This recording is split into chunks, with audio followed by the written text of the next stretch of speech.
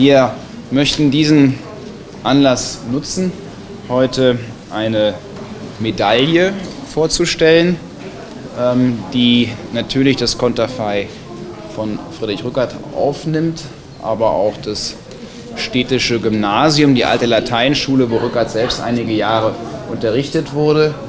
Ähm, mehr zur Münze, zur Medaille und seiner Herleitung möchte ich jetzt aber bewusst nicht sagen. so, hallo, wen habe ich denn jetzt vor der Kamera? Sie haben Reinhold Jordan vor der Kamera. Ich bin Ehrenvorsitzender, langjähriger Vorsitzender der Numismatischen Gesellschaft Schweinfurt. Sie können mir doch bestimmt noch was erzählen über die Rückert-Medaille, die heute ja die erste Auflage gemacht worden ist oder der, die Nummer 1 ja an einen Oberbürgermeister übergeben worden ist. Sie wissen bestimmt, woher das kommt und was da drauf ist und so. Sie erzählen mir bestimmt was dazu. Ich probiere es mal.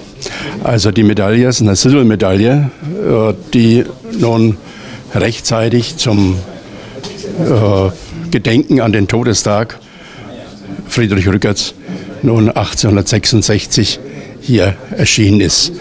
Also es geht um den 150. Todes, äh, um 150. Todestag und äh, die städtische Sparkasse hat sich entschieden, da eine Gedenkmedaille nun herauszugeben, die wohl das ganze Jahr über verkauft werden wird im Jubiläumsjahr.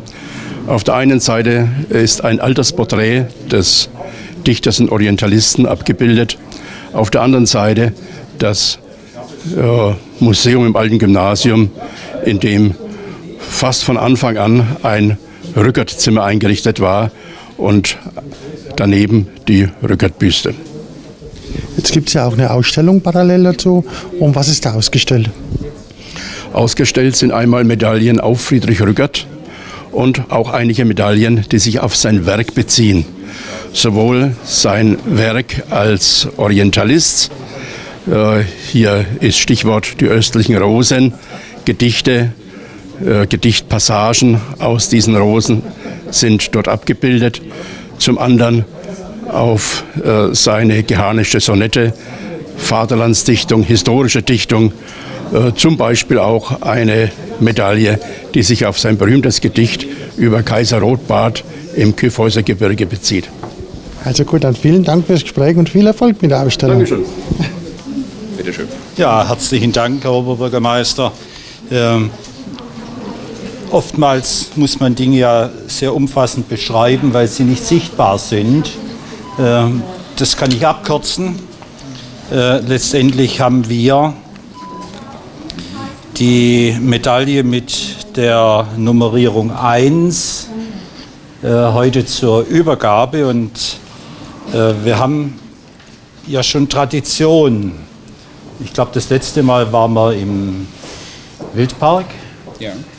Äh, und auch bei diesem Termin konnte ich Ihnen die Nummer 1 übergeben. Und bevor ich jetzt groß beschreibe, würde ich sagen, wir geben das nachher für Sie frei zur Besichtigung. Ähm, ich mache aber trotzdem vorher die Übergabe, weil ich einfach davon ausgehe, dass der Oberbürgermeister das nachher wieder rausgibt, damit Sie es noch mal sehen können. Ähm, nur kurz. Wir werden uns während des Jahres noch bei der ein oder anderen Veranstaltung treffen, wo wir als Sparkasse einen Beitrag leisten können und wollen. Und insofern ähm, geht es heute ja zumindest für uns um den Auftakt. Und ich darf Ihnen die Nummer 1 übergeben in Silber, sparsam wie wir sind. Ähm, das Zertifikat nehme ich mal raus.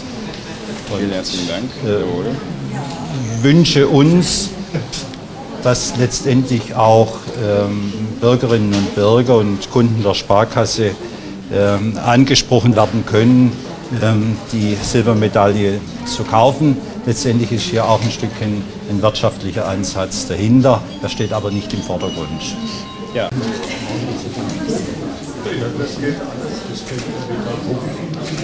Dankeschön. Wunderbar. Ich halte den Weg retuschieren.